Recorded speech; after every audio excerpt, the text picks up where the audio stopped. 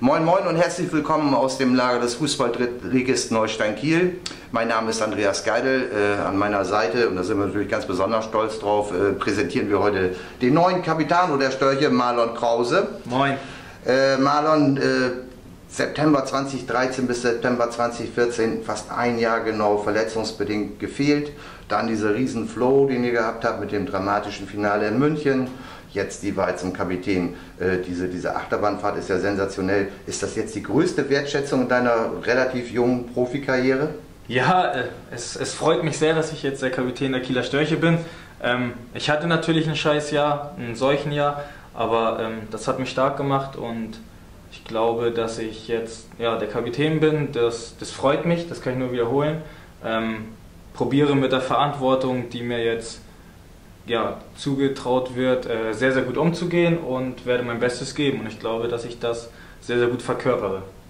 Da gibst du gerade das Stichwort, wie wirst du denn deine Rolle interpretieren? Bist du jetzt der Kummerkasten für alle Sorgenkinder im Kader oder wie darf man sich das vorstellen? Nein, der Kummerkasten nicht. Wir haben keine Sorgenkinder in der Mannschaft. Wir sind eine sehr, sehr nette, gute, homogene Mannschaft und ja, ich, ich probiere das zu verkörpern, wie es die letzten Jahre Rafa gemacht hat. Hm, ja, einen guten Draht zwischen der Mannschaft und das Trainerteam zu haben und ja, immer ein offenes Ohr für die Mannschaft haben.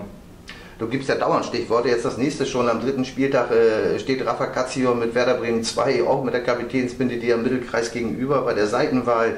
Äh, hast du dir da schon einen Spruch ausgedacht, eine Wette oder sowas?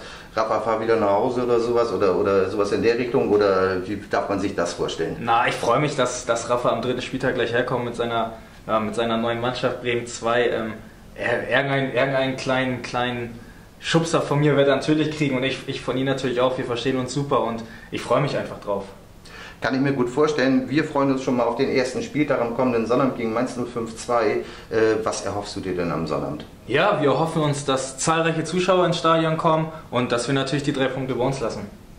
Bestes Schlusswort, mehr kann man gar nicht sagen. Wir drücken natürlich wie immer jetzt speziell wieder, wo der Punktspielstart losgeht, die Daumen. Marlon, schönen Dank für das nette Gespräch Gerne. und wir sehen uns beim nächsten Mal. Ciao, ciao, tschüss.